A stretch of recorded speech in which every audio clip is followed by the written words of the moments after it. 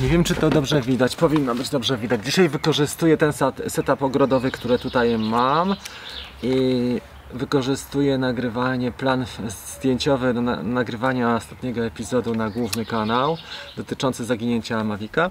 I wątek, który chciałem rozwinąć teraz, to jest wątek akcesoriów, jakie sobie zamówiłem.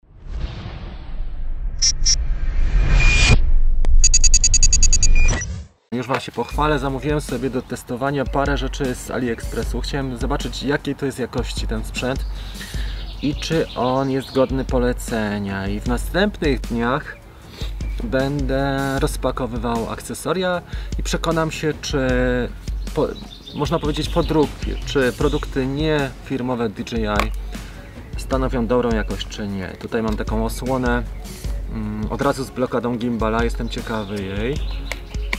Wygląda to dość fajnie. Zrobimy w takim razie dzisiaj taki malutki, krótki unboxing. Ona powinna być szara. Jest transparentna, ale szara i ma od razu tutaj te ząbki do blokady gimbala do Mavica.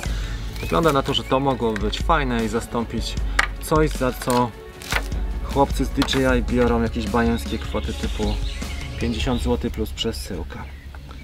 Widzę, że to powinno fajnie zadziałać to już widzę po unboxingu, że to jest typowo transportowa taka blokada. Jej zaletą jest to, że jest dużo tańsza niż ten oryginalny sprzęt. To ma takie ciekawe wycięcie i to wchodzi dość łatwo. Tu trzeba pewnie nabrać wprawy. Tak, idealnie gimbal jest unieruchomiony.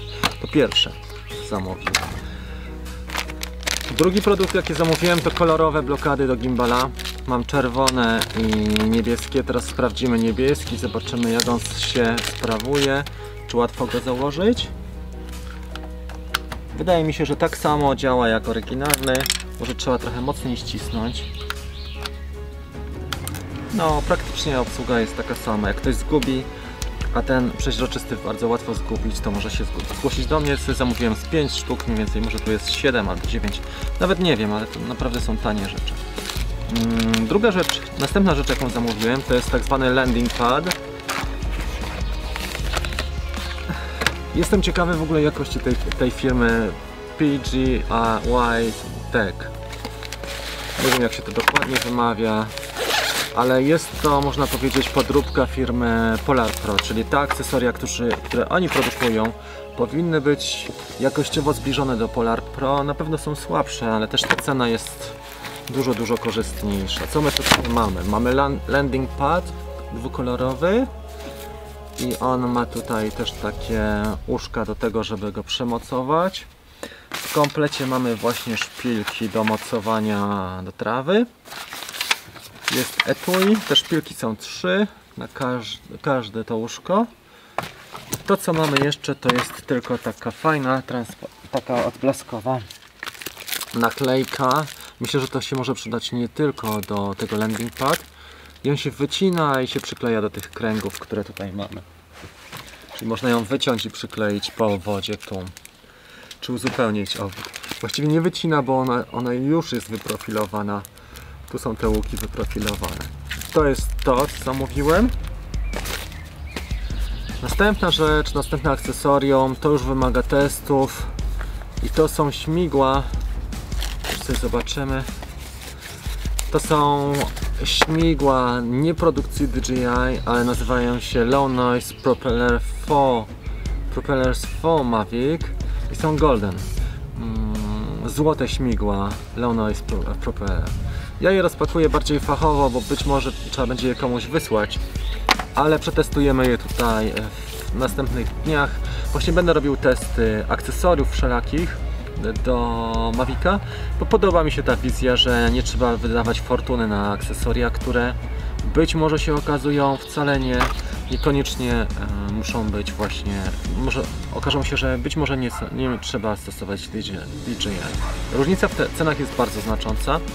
Mm, Sprawdzimy sobie. Wszystkie moje produkty zamówiłem mniej więcej miesiąc temu, przed majówką, może trochę wcześniej nawet, na koniec kwietnia. E, czyli one mniej więcej mają czas dostawy jeden miesiąc.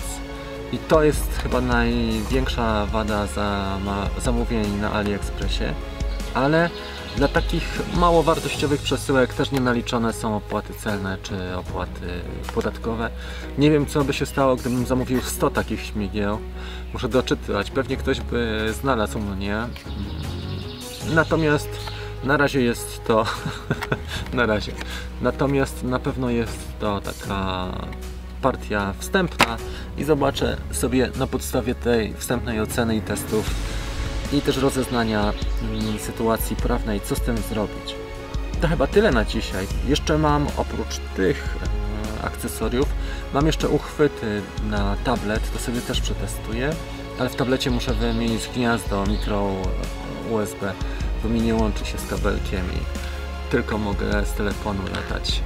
Tablet w tej chwili poszedł pod stawkę, pewnie wyślę go do, do jakiegoś serwisu albo poproszę kolegę, żeby mi przelutował to, to gniazdo. I właściwie to jest to wejście na dzisiaj. Bardzo pozdrawiam e, wszystkich moich widzów. Trzymajcie się, pa!